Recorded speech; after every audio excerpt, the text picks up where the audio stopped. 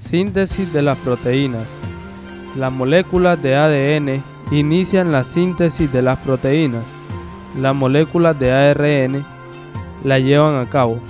Los dos procesos fundamentales que se realizan en la síntesis de una molécula de proteína son la transcripción y la traducción. La transcripción es el proceso por el cual el ADN dirige la síntesis de las moléculas de ARN que lleva la información codificada a los ribosomas. La traducción es el proceso por el cual se descifra el código y se forma una molécula de proteína.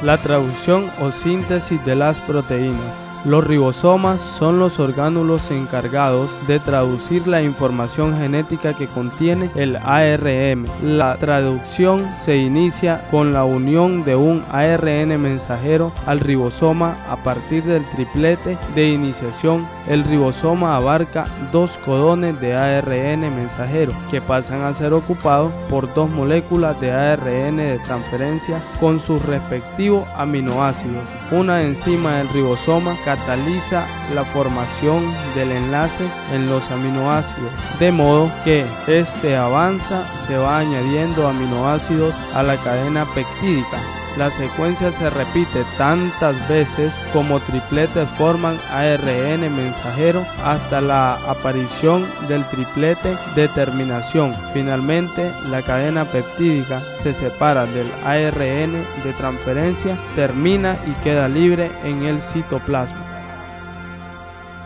Para poder comprender cómo se utiliza esta tabla, tenemos que comprender cómo utilizar las bases.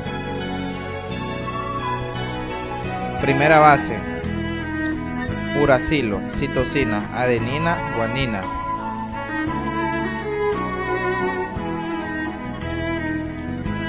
Segunda base. Uracilo, citosina, adenina, guanina. Tercera base. Uracilo, citosina, adenina, guanina tomamos el primer código de la base 1. Luego el primer código de la base 2. Seguimos con el primer código de la base 3. Tomamos el segundo código de la base 1. El tercer código de la base 2. Y luego el segundo código de la base 3.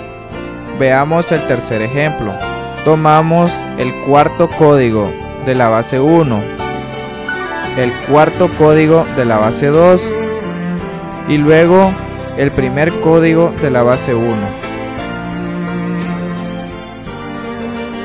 La secuencia guanina, guanina, adenina es la traducción de citosina, citosina, urocilo de la palabra código de la prolina.